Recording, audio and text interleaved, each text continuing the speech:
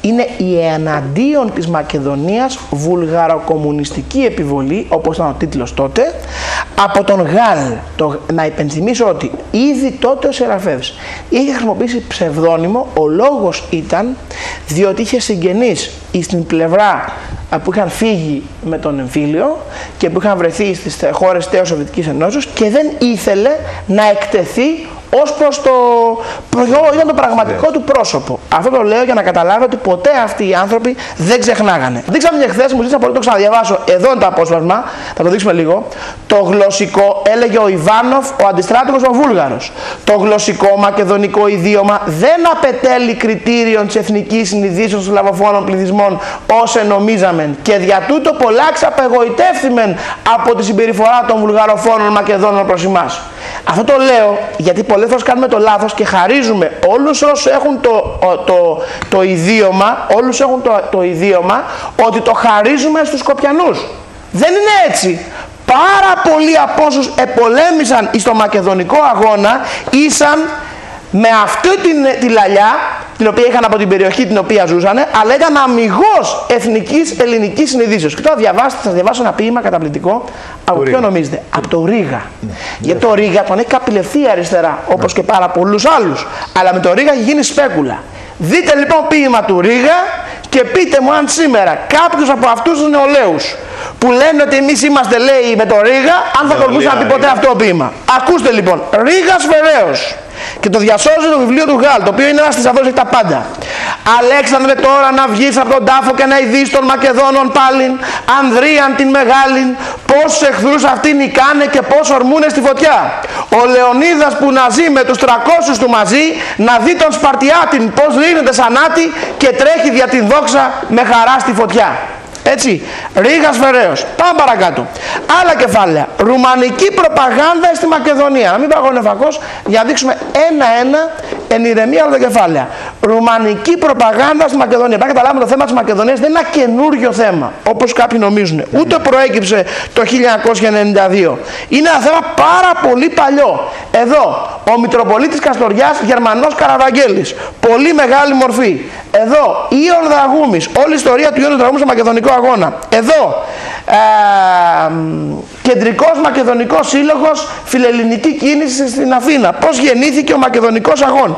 Εδώ είναι ο Παύλος Μελάς. Θα διαβάσω μια πολύ συγκινητική, ένα πολύ συγκινητικό γράμμα που έδωσε ο Παύλος Μελάς. Ας το δείξετε το, το παγώσι, το διαβάζουμε. Πριν φύγει για, την, για το μακεδονικό αγώνα. Το παγώσουμε λίγο στον αέρα για να το δείτε γιατί Παύλος δεν ξέρω πόσοι θα προλάβετε να αγοράσετε το βιβλίο η εναντίον της Μακεδονίας βουλγαροκομμουνιστική επιβολή μόνο του με 20 ευρώ ή και τα τρία μαζί από 62 40. Στα τρία βιβλία πληρώνετε τα δύο, το το παίρνετε δώρο. Ακούτε τι είχε γράψει ο Παύλος Μελάς 27 Αυγούστου ε, του 1905. Αναλαμβάνω τον αγώνα με όλη μου την ψυχή και με την ιδέα ότι είμαι υποχρεωμένος να τον αναλάβω. Ήχον και έχω την ακράδο πεποίθηση ότι δυνάμεθα να εργαστώ με εν Μακεδονία και να σώσω μεν πολλά. Έχω δε την πεποίθηση ταύτην, θεωρώ υπέρ το καθήκον να θυσιάσω το παν όπως πίσω περί τούτου την κοινή γνώμη. Είμαι, βέ, είναι, είμαι βέβαιος δε ότι ενός ανδρός το αίμα αν ποτίσει το χώμα της Μακεδονίας θα εξυπνήσω οι κοιμόμενοι, θα εγκαρθιωθώ οι τρομοκρατηθέντες, θα φυτρώσω επί της ευγενούς γης εκδικητέ και σωτήρες. Μιλάμε για συγκλονιστικό βιβλίο. Βουλγαρικά αντίπεινα εν τη Ανατολική Ρωμιλία, άλλο κεφάλαιο. Ξαναλέω ότι το βιβλίο αυτό είναι γεμάτο στοιχεία. Όταν λέμε γεμάτο στοιχεία, είναι γεμάτο στοιχεία. Θα το δείξουμε λίγο εδώ. Εδώ, εδώ. Τα αντίπεινα των Βουλγάρων στην Ανατολική Ρωμιλία. Αυτά που είναι συγκεντρωμένα μέσα αυτό το βιβλίο δεν θα τα βρείτε σε κανένα άλλο βιβλίο. Είναι δεδομένο. Από τη Βιέννη, έτσι είναι η Αυστριακή Από τη Βιέννη. Η οποία γράφει ο Ελληνικός. Εδώ. Απέδειξε τη μακεδονική ύπαρξή του. Μα βεβαίως, μα αυτή είναι η αλήθεια. Εδώ άλλο κεφάλαιο. Ο απεσταλμένος Μακεδονία του Αγγλικού Επιτελείου Λογαγό Τράκμαν τηλεγράφων στην Αγγλική Εφημερίδα Daily Telegraph. Ουδέποτε στην ιστορία. Εδώ θα παραδείγματα τόσων πεπορωμένη σκληρότητα όσε παρουσίασαν οι Βούλγαροι και σπανίωσης στην ιστορία του κόσμου. Ένα έθρο προσήκησεν εις των βαθμών συνολικός φαγών κτηνοδίας και ασελγίας. Ε, ο, άλλο κεφάλαιο, το 42. Ε, η έκθεση, το δείξουμε λίγο εδώ. Αυτό άλλο, α, το πόσα στοιχεία έχει μέσα αυτό το βιβλίο δεν περιγράφεται.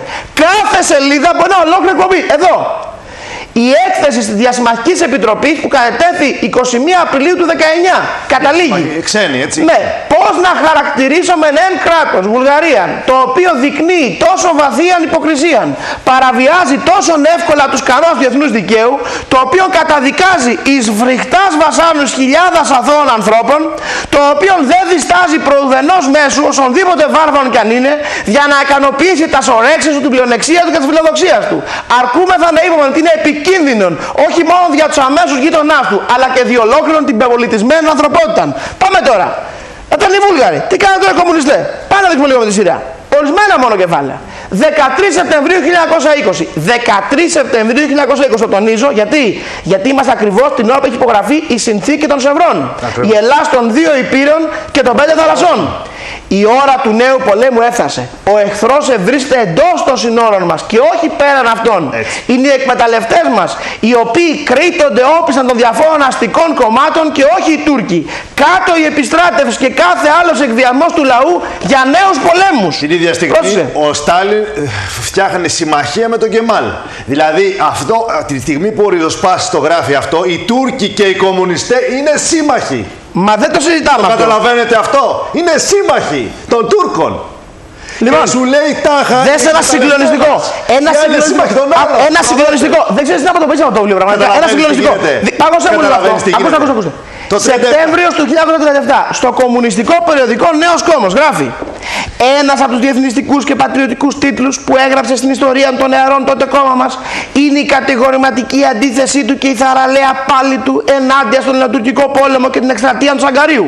Στελέχη, μέλη και οπαδοί του κόμματός μας, αψηφώντας την τρομοκρατία και τη λογοκρισία, το στρατιωτικό νόμο και τη στρατοδικία, ανέπτυξαν σοβαρή αντιπολεμική δράση στο μέτωπο και σταμετώπισαν. Το κόμμα σε εκτέλεσε το πατριωτικό χρέος του καταγγέλλοντας των αντιλαϊκών και τυχοδιωτικών χαρακτήρα αυτού του πολέμου. Γιατί ο ελληνοτουρκικός πόλεμος ήταν από την πλευρά της Ελλάδο ένας άδικος, επιθετικός και αρπακτικός πόλεμος. Προσέξτε την αντίφαση. Το πατριωτικό χρέος του εναντίον της Ελλάδα. Γιατί πατριωτικό είναι η Σοβιετική Ένωση. Δείτε λίγο εδώ, άλλη σελίδα. Πατρίδα εννοούν τη Σοβιετική Πρόσεξε. Ένωση. Άλλη σελίδα, εδώ, να παγώσουμε λίγο αυτό εδώ. Άλλη σελίδα. Τη 16η Μαρτίου 1961, επί τη ευκαιρία της 40 ετία υπογραφής του συμφώνου, η Κρούτσεφ και Μπρέσνιεφ τηλεγράψαμε στον πρόεδρο της Τουρκικής Δημοκρατίας Γκιουρσέλ. Αυτό είναι πολλά χρόνια μετά. 40 χρόνια μετά. Ναι.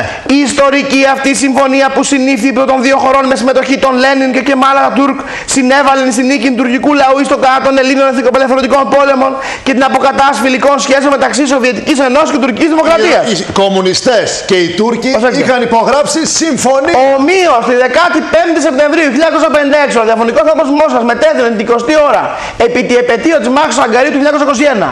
Αύριο είναι επέτειος μιας μεγάλης μάχης, μιας μεγάλης νίκης του τουρκικού λαού των Αγκάριων. Αγαπητοί Τούρκοι ακροατέ, επί τη επαιτίο της νίκης του τουρκικού λαού κατά των εισβολέων, δηλαδή των Ελλήνων, σα απευθύναμε θερμά συγχαρητήρια. Η Σοβιετική Ένωση είχε ευθύς εξ αρχής χαιρετήσει το εθνικό σας κίνημα όπως απαλλαγείται από την εθνική κατοχή.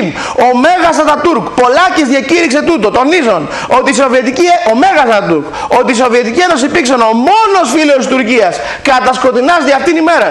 Η Σοβιετική Ένωση, όπως είναι επισήμως γνωστόν και σήμερα ακόμη επανειλημμένος, έδειξε την προθυμία της να σας βοηθήσει. Βέβαια. Και το καθεξής. Ήταν σύμμαχοι μαζί. Πολεμούσαν εναντίον της Ελλάδος και εδώ κομμουνιστέ. Εδώ, άλλο Έβαλαν κεφάλαιο. Το μαχαίρι Μα δεν στην μπορώ να καρδιά φανταστείς. των Κάθε Ελλήνων. σελίδα που γυρίζω έχει και κάτι άλλο να διαβάζω. Δείτε εδώ, άλλο κεφάλαιο. 14 Δεκεμβρίου, ο Ριζοσπάστης εδημοσίευσε το μανιφέστο του Τρίτου Συνεδρίου. Βρισκόμαστε στο έτος 1924. Ανεξαρτησία στη Μακεδονία και στη Θράκη.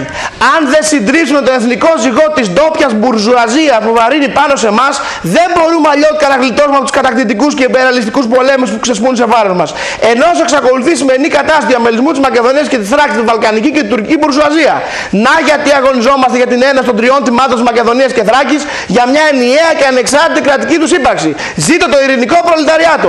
Ζήτω η ανεξάρτητη Μακεδονία και Θράκη. Όταν λέει ανεξάρτητη, εννοεί στο Σοβιετικό μπλοκ ανεξάρτητη. Ε, καλά, εννοείται Τι αυτό. εννοεί, έτσι; Λοιπόν, εν πάση εννοεί περιπτώσει, ανεξάρτητη. εν πάση Δεν περιπτώσει, εννοούν αυτά που λέει. έχει πάρα πάρα πολλά, έχει πάρα πάρα πολλά. Ε, δεν ξέρω αν μπορώ να διαβάσω και τα υπόλοιπα, γιατί θε- θέλω να πάω και λίγο παρακάτω πριν φύγω. Έχει πάρα πολλά. Εδώ μόνο θα διαβάσω τη δεύτερη επιστολή του Ζαχαριά. Να μην πάω στο τηλεφωνικό, το πάρω να διαβάσω το συντακτικό και κλείνουμε, και κλείνουμε αυτό το κεφάλαιο. Γιατί γίνεται ήδη χαμός τηλεφωνικός και τώρα λένε και φοβερό, φοβερά αυτά που έχει μέσα. 26 Νοεμβρίου 1940 είμαστε. 26 Νοεμβρίου 1940. Ναι. Δημοσιεύσε ο Ροσπά την επιστολή της οποίας ανασκευάζει την πρώτη ο Σαχαριάδης και χαράς στη γραμμή του Κουκουέ για την πολεμική περίοδο. Εν περιλήψη στην επιστολή του λέγει: Μετά την εκδίωξη των Ιταλών από τα ελληνικά σύνορα, μετά την εκδίωση των Ιταλών τα ελληνικά σύνορα, ο αγώνας της Ελλάδος έπαυσε να είναι αμυντικός. Και ό,τι εξ αρχής όσο εκ των υστέρων εφάνει ή το υπεριαλιστικός, καθώς θα μπορούσε η Ελλάδα να ζητήσει ειρήνη, τη μεσολαβήση της Σοβιετικής Ενώσεως. Μην ξεχνάμε Δηλαδή, ότι η όταν Σοβιετική μπήκαμε- Ένωση τότε ήταν μέλος του άξονα στην πραγματικότητα. Προσέξτε. Γιατί είχε υπογράψει σύμφωνο μη επιθέσεις με τη Γερμανία. Δηλαδή, Την Ιταλία. όταν μπήκαμε, όταν, Όταν μπήκαμε, μπήκαμε στον πόλεμο, η Σοβιετική Ένωση ήταν μέλος του άξονα στην πραγματικότητα. Αυτή είναι η αλήθεια. μου λέει ένας φίλος, και ο Μεταξάς ήταν ενάντια στην εκστρατεία στη Μικρασία, να θέλει φαγωζεμένα. Βεβαίως και ήταν. Ναι, αυτό είναι αλήθεια. ήταν. Αλλά δεν Αλλά δεν πολέμησε πολέμησε. εναντίον- δεν πολέμησε πήγε να εναντίον των πει Ελλήνων. καταδεί τα όπλα. Δεν Δεν έκανε πήγε, σαμποτάζ. έλεγε, μη πολεμήσετε, την πολιτική, κράτη τα είχε, προδότης. είχε την πολιτική θέση να πει πιστεύω ότι θα κάνουμε και δεν πρέπει να πάμε. Γιατί θα μας, θα μας πουλήσουν οι σύμμαχοι. Αυτά είναι η άποψη μεταξά. Ναι. Δεν πήγε να κάνει σαμποτάζ. Έτσι. Αυτή είναι η διαφορά.